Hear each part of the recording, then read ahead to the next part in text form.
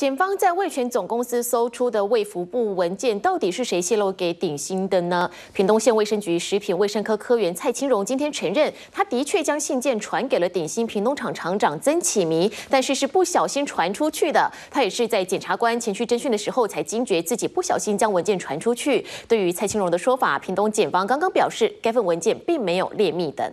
那我也是在张诶屏东检调单位，他。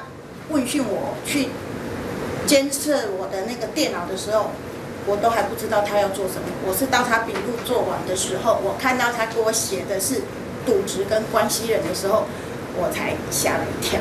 我问他说：“我怎么会赌职？